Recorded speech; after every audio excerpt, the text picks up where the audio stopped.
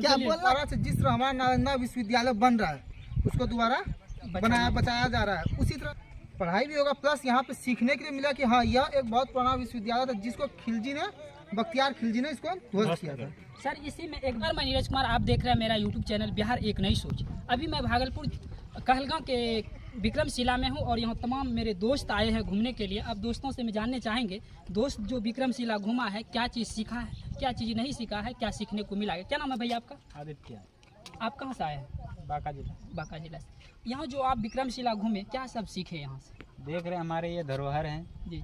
जिसे धर्मपाल के द्वारा बनाया गया है आठवीं से बारहवीं शताब्दी के बीच में। उसी के बारे में कुछ जानकारी लेने के लिए आए हुए हैं। जी जी।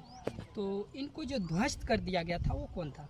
ये बख्तियार खिलजी के द्वारा खिलजी? एक मुसलमान था जो इस इतने धरोहर को वो उसने ध्वस्त कर दिया था। हम्म, तो यहाँ से मतलब पर्यटन स्थल जो है घूमना चाहिए। घूमना चाहिए बहुत चीज़ सीखने को मिलता है ना भैया। क्वेश्चन भी पूछते हैं विक्रमशिला हाँ, से बहुत सारी चीज़ें। और एक भैया साहब क्या नाम है भैया आपका? मेरा नाम राजा यादव हुआ। राजा यादव। आप वीडियो भी बना रहे थे। हाँ। आप वीडियो बना रहे थे? हाँ वीडियो बना रहे थे। आप विक्रमशिला घूमे कैसा लगा?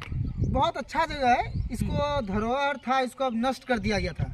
लेकिन यह होना चाहिए कि इसमें अब दोबारा से जिस तरह हमारा नालंदा विश्वविद्यालय बन रहा है उसको दोबारा बनाया बचाया जा रहा है। उसी तरह यह भी इसको भी बचाना चाहिए।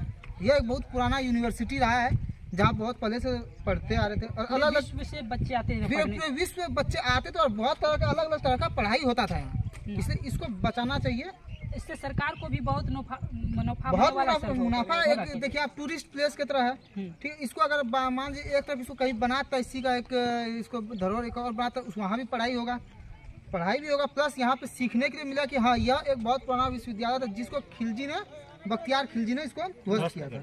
सर इसी में एक पुस्तकालय है। हम्म। पुस्तकालय आप देखे। हैं पुस्तकालय पीछे में हाँ, है। में देख तो लीजिए। जिसके बारे में पढ़ाया गया था क्योंकि हमारे देश में सबसे पहले किसी पढ़ाई का शुरुआत सबसे पहले हुआ था। यहाँ पर ऋषि मुनियों के द्वारा पढ़ाया गया था गुरुकुल।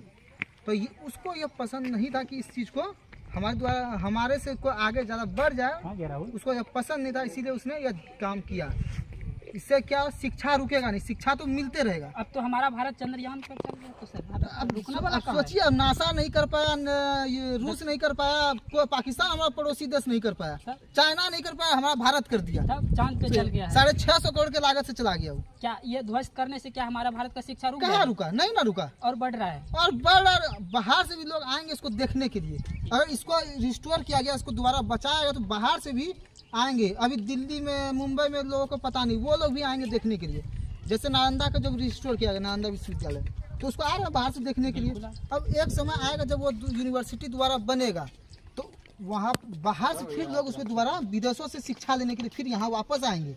उसी का जब अगर इसको बनाया गया तो यहाँ दोबारा वापस आएँगे वो लोग। अगर ये शिफ्ट फिर से कर दिया जाता है तो फिर विश्व के लोग आएँगे पढ़ने के लिए। ज़रूर आएँगे पढ़ने के लिए। चलिए, क्या अभी आप- आपका? मेरा नाम राजा यादव हुआ। भैया से बात करके बहुत अच्छा लगा। वीडियो को देखते रहिए मिलते हैं फिर अगले वीडियो में। जय हिंद।